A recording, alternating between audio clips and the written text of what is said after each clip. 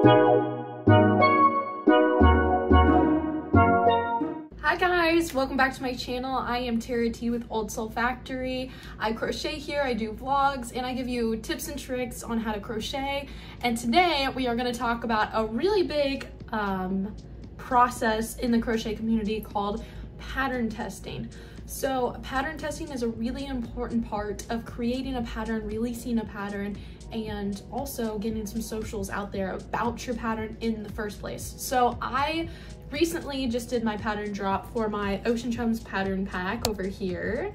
And whenever I did this, I have a whole testing process that I have narrowed down a little bit.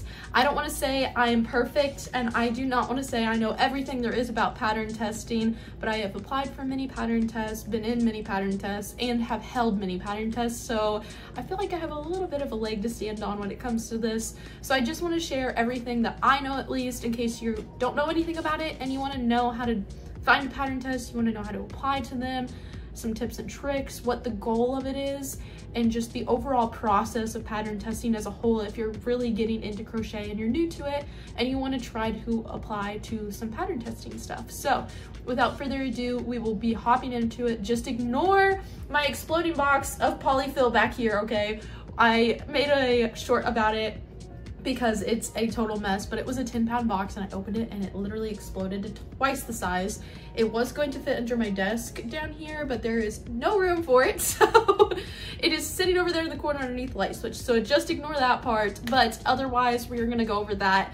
Um, and so I cannot wait to show you guys. So there's a few new things that we have made for this week back here. We made a cat, we made another one of my whale sharks, and we made one of my Tice the turtle patterns as well back here, which is also a tested pattern as well. So if you are interested in those, my Etsy link is down below too, so you can also go ahead and get the patterns that I might be mentioning quite a bit today. Um, but yeah, without further ado, we'll just hop right into everything you need to know about pattern testing in the crochet community. So the first thing I want to talk about is just the first step of what is pattern testing. So pattern testing, to me at least, is just a trial run of your pattern before you release a pattern to the public. So this can be in a private group, whether you're in Discord servers or something like that, or it can be out in public on social media and stuff, but you usually do like some kind of tester call to get people to apply, and then you pick people, you narrow it down, and then you have them um, try out this pattern early the reason you do pattern tests is to find any and all mistakes, no matter how perfect you are. Um, there is always going to be mistakes on a pattern that you need some people to catch, whether it your stitch count's wrong at the end of a row or something's not lining up for somebody else if they're using a different yarn type than what you usually use.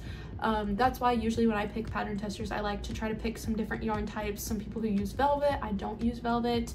Some people who use like sweet snuggles, regular sweet snuggles. That way there's a little bit of a bigger yarn mixed into the batch. Um, and then some other miscellaneous things as well. But I do like to pick a variety because this also helps you complete your pattern and perfect your pattern as well. So so yeah, it just helps provide clarity and accuracy to your pattern before you release it out into the public for everybody to purchase or buy, or even if it's a free pattern on Instagram you're releasing, a lot of times people go ahead and do a pattern test as well on these kind of things. So that is what pattern testing is the next thing is is where to find pattern tests. Pattern tests are often found online in the crochet community, including Facebook groups, Rippler or Ravelry groups. There's also Instagram groups, and I 100% recommend looking on Instagram first. Instagram, your followers, they're already following you for your content. They know what your style is, what your patterns look like, what kind of um, sewing skills you have, what kind of yarns you like to use, so you know that people will apply with the same kinds of yarns a lot of time. Um, I, like I said, I do like to mix it up and add in other people as well, but this also helps you um, have people who are already backing your business and your brand and everything apply to help promote your pattern test and share it and get the word out there about it because at the end of the day, it's also a little bit of a promotion um, for your business as well. So you need to take advantage of that too, which is why I highly recommend Instagram. Um, and it is just people who are already following you and supporting you and they're just really excited about you and something that you're getting ready to put out there. So I highly recommend Instagram should be the first place to go. So the pattern testing process, this is the heftiest little segment we'll cover really quickly. But the first thing that I want to cover is picking pattern testers. Picking pattern testers, you have to look at their qualifications. I have a very serious process to narrow down who I want to test my patterns. I have everybody apply with some very specific set rules, which I'll mention here in a minute, but I have a very set amount of rules that I want everybody to follow in order to apply for my pattern test. Um, but I do look at skill level, I look at the quality of their images, I look at um, how often they post, I look at their views usually, I look at their followers, and like I said, that doesn't always matter, but I try to cover people who have, you know, under 100, under 500, under 1,000, and then like a thousand plus at least. And I try to pick kind of like almost four people in each of those, depending on the pattern, or even just one person in each of those, like I said, depending on the pattern. So like my Ocean Chums pattern pack that I just did, I had three different patterns in one pack, so I just picked three people for each pattern, so I had nine total testers in my uh, Instagram group that all communicated, tried these patterns. Everybody got access to all of them whenever they applied for this test though, so they had free range to make whichever ones they wanted, but they needed to do the ones that I specifically assigned at least to provide pictures with those. And so that is a huge deal. Um, there's a lot of testing phases. The testing phases would be you actually trying to create the pattern, writing it all down, making sure you can type it up and you understand it as well, and running through it multiple times before you release um, a pattern, even to testers, in my opinion. From this point, you pick your testers from that applied, you pick your testers, you put them in a group chat, you say, here's the pattern, the final pattern that you've tried a couple times, and then they try it and then they send back any corrections, mistakes, anything that they think you should change, any suggestions, um, overlap on like text even and extra spaces, like periods that shouldn't be there. Um, if you had an abbreviation that was a little weird, that, but it didn't say that in your pattern chart or like your abbreviations chart, there's a lot of random little things that pattern testers look for and are really experienced at um, they've done it quite a few times but also that's why I try to find some people that are experienced and some people that are newer to crochet so I can make sure that all levels of crocheters can understand my patterns before I release them as well. So once all of these creators have sent in their final adjustments to me, I make those final adjustments, I save a final copy, I send it out into the group again, I ask anybody to just like double scan it, you know, double check it for anything that they might have saw um, that might be need might need to be fixed or adjusted again or I missed it by chance. And then, like I said, it's finished. I email it back out to them, which is how I send out my patterns in the first place and then I upload it to my Etsy and then I can post it and publish it whenever I need to once those final adjustments are made and a triple check has been done by my testers because my testers are pretty awesome. so I'm gonna read you my set guideline rules as well in order to apply for my pattern test personally. You don't have to do all of these. I've seen creators not do all of these or they have even more rules that you need to follow. I find that this works best to both promote my pattern that I'm currently trying to get out and released. And it also works well to keep track of who's applied. So I have everybody needs to have a public Instagram crochet page. Um, with this in mind, it just makes it to where people can actually see your content more and are more likely to follow you for your content and everything. So you need to have a public page. There's some people who have private accounts that crochet kind of on the side um, who try to apply sometimes. And I love that, but you guys need to have public accounts so that creators will want to pick you. And then I also have that you need to follow me, you need to like, and you need to save the post.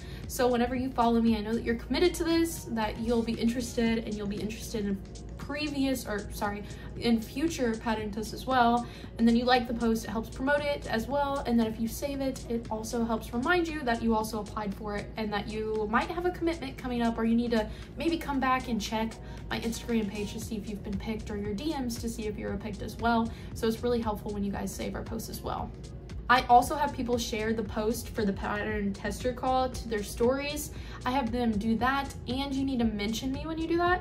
Whenever you mention me, it automatically tags me in those stories and it sends it to my DMs. So that's how I personally look to see if you've applied for my pattern test or not. I also double check this with the comments because the next one is you need to comment what yarn you would like to try to use for this pattern and you need to tag a couple Instagram friends. So I like to go ahead and do that as well. So I'll double check my DMs with my comments on my pattern tester call post. That way I can make sure that you followed all of the rules and nobody snuck through there, okay? So I do check all of these things. That's just how to apply, but a few more requirements you usually need to do in order to successfully um, complete the pattern test and everything up to like my standards usually is like these requirements you need to be following me of course you need to follow or finish by a certain date I sometimes have a really close deadline. Like this last one, I had tried multiple times. So it was like a three day turnaround that you had to finish this project and it only takes an hour. So I felt like that was pretty reasonable. But sometimes if you have a big pattern, um, pattern testers might have it like two weeks out. So you might have more time to complete it. Or sometimes even pattern testers are like, it needs to be due like the day that you get the pattern test because they're trying to get this pattern out really quickly for something. So you always need to make sure that you're reading through the whole description all the way down before you apply for things like that and then be able to provide feedback and final photos. Um, comfortable communicating in the group chat on Instagram. Like I said, I do all of mine through the group chat. Um, this way, other creators that are trying the pattern can also comment and say, hey, you know what? Row 11, which might have happened on my last pattern, looks a little off, so you need to fix that before you send it off. That way, anybody else that got the pattern can just scroll through those, read any notes really quickly, and be like, oh yeah, row 11 does look weird okay, I know to skip it now without, you know, getting a new pattern out to anybody or anything like that. So that is great for communicating and it always needs to be on the table. Like you always need to be willing to communicate in group chats because that's how most Instagram tester calls work. And then you also need to be able to share your plushie on your social medias.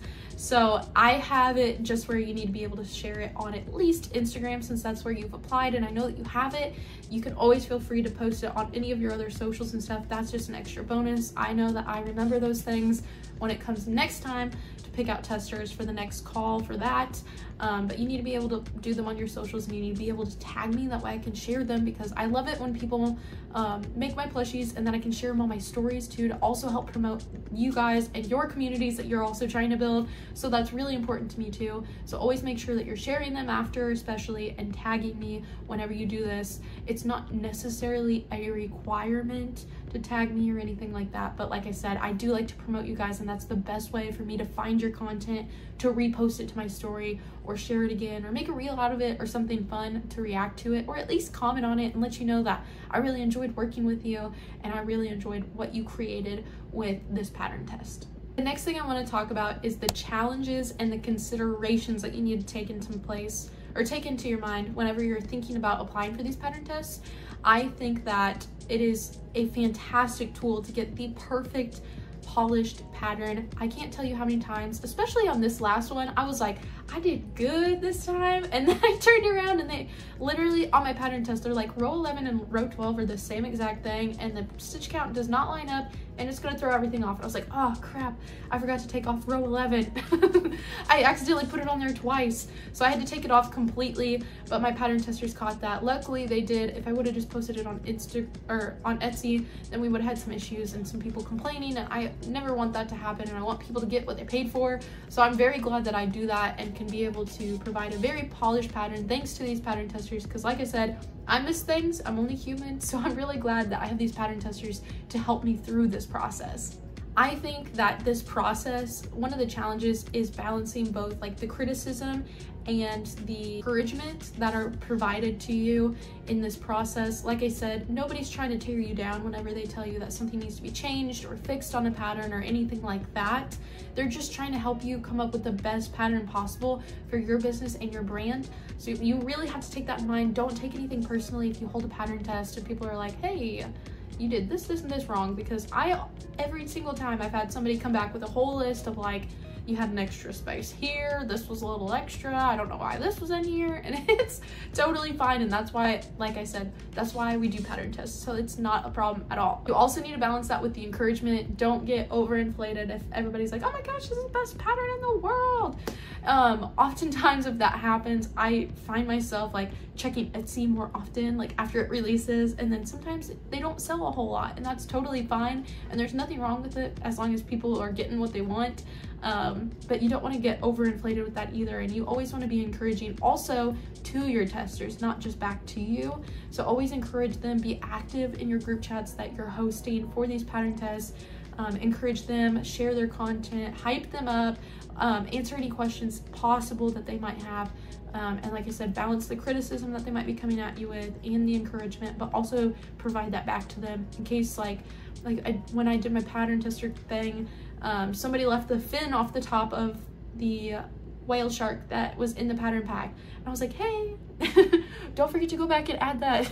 I think another big challenge, like I said, I like to include all different kinds of skill levels and um, all different types of skill levels and account sizes and just different age groups too as well. I try to be as diverse as possible whenever I'm selecting all of my testers for my pattern groups because I want to make sure that any skill level can be able to do this pattern and do it efficiently. So I think that's another big challenge is sometimes you do have to explain some things that seem like they're common sense to us because we've been doing this for a while, um, but they're just new to it. And so you just have to have a little extra patience sometimes, which is totally fine. I love helping people out like that and helping them grow as well um, and grow through the pattern too that I've created. So that's always really fun to do. So it is a challenge though that you need to always keep in the back of your head. Like if somebody asks me a question about this, am I gonna be able to answer it?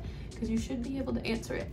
Another one of the big challenges or considerations that you need to keep in mind is just the time and the commitment that's required to finish these pattern tests. Not just for you, but for your pattern testers. As I mentioned, always read through the whole description and see when the deadline is gonna be to make sure that you can efficiently meet that for whoever the creator is that's hosting the pattern tester call. I also have to take into consideration how fast I can turn the pattern around after I've completed a pattern test as well. Sometimes it takes a lot longer if there's a lot more pages or patterns or if it's a pattern pack this time. I probably should have stretched that out a little bit longer because it did take a lot of extra time on the side that took away from actually crocheting. Um, but it did get the pattern out and released, which is what I wanted to share with everybody. And I'm so glad that I got it done, but always be conscious of that as well whenever you're doing pattern tests. And then the last section that we have today is just some helpful tips about pattern testing, what can help you get into pattern tests, and what can help you be a better pattern tester for the creator as well. Throughout this process, you should always remember to have effective communication. As a designer, you need to be able to respond to everybody in the group chat as efficiently as possible.